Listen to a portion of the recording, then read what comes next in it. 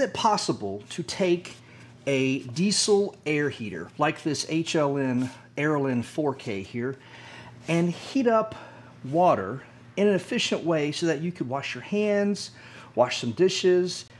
Is it possible to sort of have your cake and eat it too? That's what we're going to answer today. To give you some background on this question, a few months ago I did a video about supercharging your diesel hydronic heater. I'll put a link up above using one of these. Now this is what is called an air to water intercooler. It's designed specifically for like drag race cars that are turbocharged. Your turbo compresses the air. It goes in this end and you run a tank of usually ice water, like a cooler of ice water through here.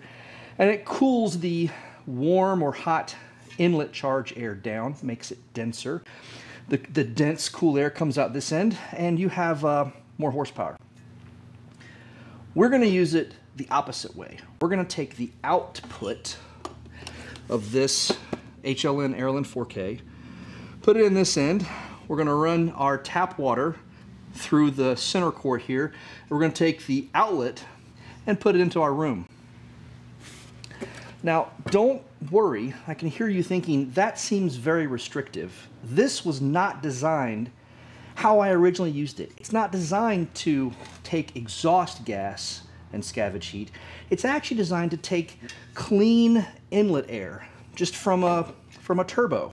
And it's not very restrictive at all. In fact, it's fairly free flowing because it's a high performance part.